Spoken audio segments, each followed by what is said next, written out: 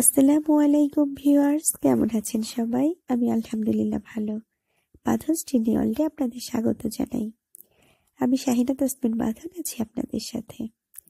এই যে ফুলের স্টিকগুলো দেখতে পাচ্ছেন, রজনীগন্ধার স্টিক, এগুলো আমার মেয়ে একটা জায়গা থেকে খুব যত্ন করে এনেছে এবং বোতলে পানি দিয়ে ভিজিয়ে রেখেছে। কোথা থেকে এনেছে সেটাই আপনাদের সাথে একটু শেয়ার করি। আজ আমরা একটা বৌভাতের প্রোগ্রামে গিয়েছিলাম। তো বেশ বড় একটা আয়োজন। খুব চমৎকার সাজানো গোছানো পরিপাটি, খুবই সুন্দর। তো ওই যে লাল টুকটুকি বউ খুব চমৎকার করে সেজেছে, গা ভর্তি গয়না, একটু লাজুক লাজুক মুখ, আবার মাঝে মাঝে হাসি। খুব ভালো লেগেছিল বউকে দেখে। আমার মেয়েকে বেশ যত্ন করে পাশে বসিয়ে আদর করেছে। এখানে ওরা আমাদেরকে পেয়ে খুবই খুশি ছিল। আমাদের, আমরাও ওদের বহুভাত অ্যাটেন্ড করতে পেরে অনেক খুশি ছিলাম। আমাদের অনেক ভালো লেগেছিল। এই যে বর বর আর আমি একসাথে পড়াশোনা করেছি। আর ওর বোন ওর বোন আমার কলিগ তো পুরা মানে বিয়ের যেটুকু সময় ছিলাম ওখানে, আমাদের খুব ভালো সময় কেটেছে। আমরা খাওয়া দাওয়া করেছি, অনেক অনেক অনেক ধরনের মজার মজার খাবার ছিল। তো আমরা খাওয়া দাওয়া শেষ করে আমরা ফিরে চলে এসেছি। তো আসার সময় আপনারা দেখতে পাচ্ছেন এই যে আমার মেয়ের হাতে সেই স্টিকগুলা যেগুলো প্রথমে আপনাদের দেখালাম। ওইগুলো এখান, ওখান থেকে খুব কষ্ট করে, যত্ন করে নিয়ে এসেছে এবং বাসায় এনে ওটাকে ওভাবে সাজিয়ে রেখেছে। তো এটা রাতের বেলা, আমার মা আমাদের জন্য পিঠা তৈরি করছেন। তো কীভাবে পিঠা তৈরি করছেন সেটাই আপনাদের সাথে একটু শেয়ার করি। তো ফাঁকে একটু বলে নিই, আমার ভিডিওটি আপনাদের কেমন লাগছে? যদি ভালো লেগে থাকে, তাহলে অবশ্যই আমার ভিডিওটিকে একটু লাইক দিবেন কমেন্টস করবেন। এবং শেয়ার করবেন।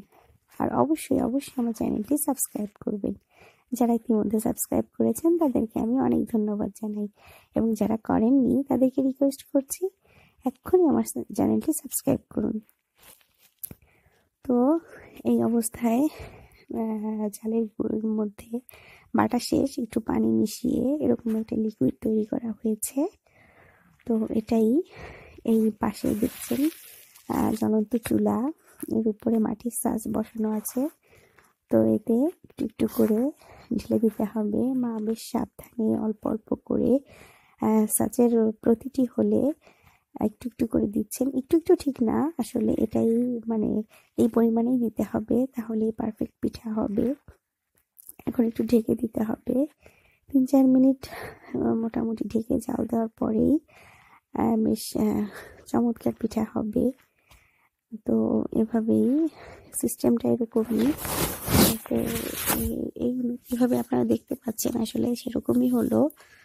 চমৎকার পিঠা হয়েছে, বেশ ফুলে উঠেছে। দেখতে যেমন লাগছে, আসলে খেতেও এরকমই মজাদার ছিল। তো এভাবে আস্তে আস্তে করে এটা কাঁচি দিয়ে উঠিয়ে নেওয়া হচ্ছে। পিঠার উপর এবং নিচে দুপাশই চমৎকার হয়েছে। আসলে পারফেক্ট পিঠা যাকে বলে, এটাই সেই পিঠা। আমার মা আমাদের জন্য তৈরি করছেন। আমরা বেশ আগ্রহ নিয়ে পাশে বসে আছি। অপেক্ষা করছি খাওয়ার জন্য। তো এই তো খাওয়ার সময় চলে এসেছে। পিঠা এক, এই পিঠাই আমরা এখনই খেতে পারব। তো এই পিঠা, এই পিঠার একটু সমস্যা হয়ে গেল। তো সমস্যা নেই, একটু পরে উঠানো যাবে। তো পিঠা একটু, এটা একটু নষ্ট হয়েছে, তবে খাওয়া যাবে, কোনো সমস্যা নেই। পিঠা ভেঙে গেলে স্বাদের কোনো পরিবর্তন হয় না, এটাও খাওয়া যাবে। তো ওই পিঠা রসে ভেজানো হবে এবং মাংস দিয়ে খাওয়া হবে। রসে ভেজানো পিঠা মোটামুটি এক এক পিঠা দিয়ে দুই স্বাদ পাওয়া যাবে। ঝাল পিঠা এবং মিষ্টি পিঠা রসের পিঠা, মিষ্টি। তো খেতে ভালো লাগবে। তো সকাল পর্যন্ত ভিজবে। কিন্তু আমরা সকাল পর্যন্ত অপেক্ষা করিনি, আমরা এখন থেকেই মোটামুটি খাওয়া শুরু করে দিয়েছি। কারণ আসলে এত মজার খাবার সামনে রেখে আসলে বসে থাকা যায় না। তো সকালেও খাব তার আগে। এই ফাঁকে মানে এই সময় আমরা খেয়ে নিলাম গরম। এখন গরম, সকালে ঠান্ডা, দুটো স্বাদই অন্যরকম, দুটো স্বাদই মজার। খুব ভালো লাগবে। তো একটা একটা একটা করে মানে চুলা থেকে একটা একটা করে নামানো হচ্ছে আর একটা একটা করে মা খুব সাবধানে এর ভিতরে, রসের ভিতরে পিঠা ভিজিয়ে রাখছেন। তো যাই হোক, রসে ভেজানো পিঠা এবং মাংস পিঠা আমরা খুব মজা করে খেয়েছি। তো মাংস, গরুর মাংস দিয়ে খাওয়া হয়েছে। তো এটা বাইরে চুলায়, পিঠা বানানো হয়েছে এবং ঘরে এসে মাংসটা জাস্ট একটু গরম করে নেওয়া হচ্ছে। মাংসের রেসিপিটা আজ আপনাদের সাথে শেয়ার করছি না। অন্য একদিন হয়তো বা কীভাবে মাংস রান্না করেন বা সেটা আপনাদের সাথে একটু শেয়ার করব। তো আমরা বেশ মজা করে মাংস দিয়ে পিঠা খেলাম এবং রসে ভেজানো পিঠা খেলাম।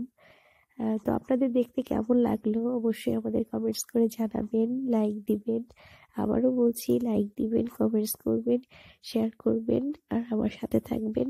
আমার চ্যানেলটি সাবস্ক্রাইব করবেন আমাকে এগিয়ে যেতে সাহায্য করবেন। আল্লাহ হাফেজ আসসালামু আলাইকুম।